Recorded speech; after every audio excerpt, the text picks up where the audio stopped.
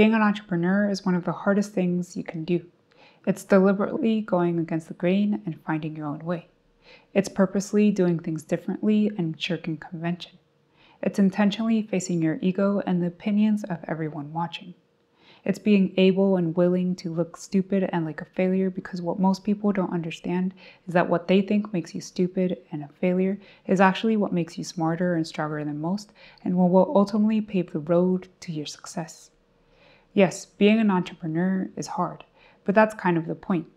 You have to fail before you can succeed.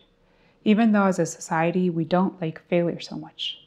It's uncomfortable to us we feel like it says something about us, especially if other people know about it.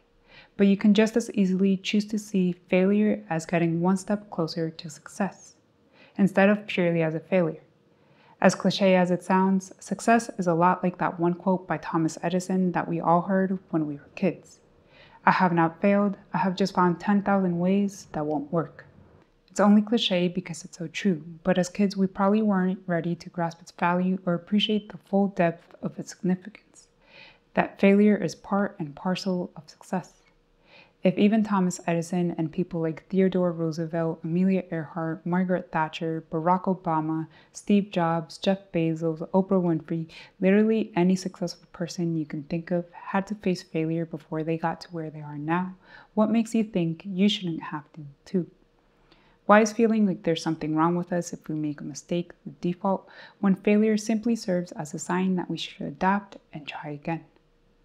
Don't let yourself fall into this trap. Despite what most people say, failing actually means that you're on the right track because it means that you're trying new things and you're not letting your fear of failure, judgment, or the unknown get in the way. As one of the women entrepreneurs I follow says, you can't expect to live an extraordinary life if you keep on doing and thinking ordinary things. To achieve new heights, you have to make your own path. And this means that things won't be clear for a while, if ever. This is what it means to be a pathfinder, always being on the edge of innovation and constantly looking towards the horizon. If it's never been done before, then by definition, there are no rules or models to follow. You have to figure it out as you go, which means that you'll fail along the way, a lot.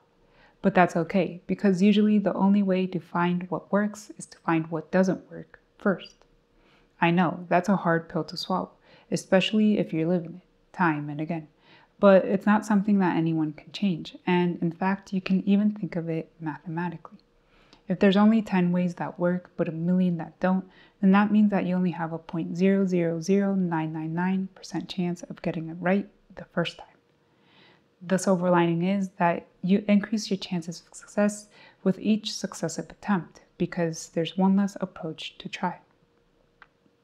This sort of thing is trial and error by nature. The only way to succeed is to keep on going until you stack the odds so much in your favor that you can't not succeed. Another way you can think of it is to compare it to putting bumpers up on a bowling lane. Bumping up against them simply redirects you back onto the right path.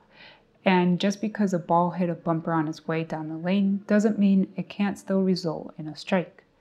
That's the way life, entrepreneurship, and growth are too. They're bowling with the bumpers on, which isn't embarrassing, it's a good thing because it means that we can learn from our mistakes and try again. Despite what most people think, life does give you second chances, and third chances, and fourth chances, and so on. The only thing that limits the amount of chances you get is your willingness to get back up, brush yourself off, and try again.